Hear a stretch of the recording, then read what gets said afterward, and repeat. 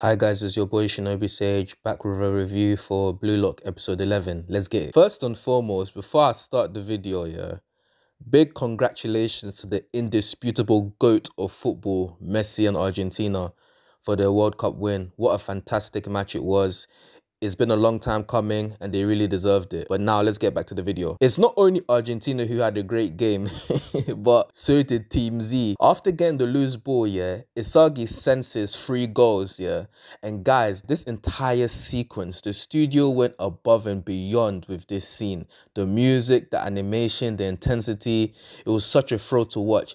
And this guy Isagi is a complete mastermind with the ball. This guy, this guy used his own teammate to put himself in a better position to score. Like it's crazy, bro. And Bachira sees Isagi and makes a cross to him. This guy Nagi popped out of nowhere. And bro, I started squirming when I saw that scene. I was like, oh shit. It was so funny. I've read the manga, but I still got shook when I saw it. With the ball about to be stolen by Nagi, Isagi remembers how he previously scored his goals. And guys, we witnessed his direct shot for the first time. And this scene was so sick. It was so sick.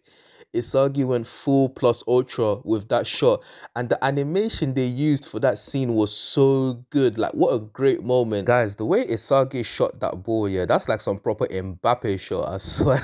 like the studio, this studio, man, they've been 8-bit studio. They've been doing an amazing job with this series week in and week out. With Isagi scoring that goal, Team Z win their match against Team V with a score of 5-4. And man, the look on Nagi's face when they lost, like something has definitely changed in his mindset mindset for sure. Now that the first selection is over, teams V and Z move on to the next round with the top scorers of the eliminated groups going through to the second selection. After their win, Team Z are relaxing and are up to their usual antics. As Bachira and Isagi discuss the match, Isagi says he finally understands his own formula for goal scoring and it comes down to his using his own spatial awareness plus his direct shot which leads to his own goal. Isagi with this realization then confidently says his journey as a striker begins now. The two then notice all of the players who are forced to leave the Blue Lock facility. Nico then starts talking to Isagi and I wonder how long he was standing there. He tells Isagi about how he changed his playstyle thanks to him. He becomes another rival to Isagi. The next day, Ego meets with Team Z and tells them that before the second selection starts, they need to undergo intense, rigorous training. The day of, of the second selection begins and when Team Z entered the facility, they realize that different players with higher ranks are all in the same building. And it turns out, yeah,